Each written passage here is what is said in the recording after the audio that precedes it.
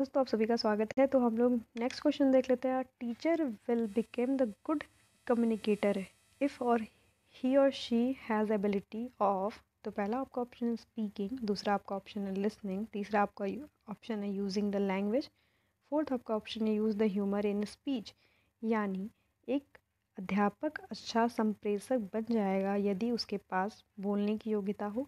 दूसरा आपका ऑप्शन है सुनने की योग्यता हो, तीसरा आपका ऑप्शन है भाषा के प्रयोग की योग्यता हो, चौथा आपका ऑप्शन है मज़ाक कर लेने की योग्यता हो।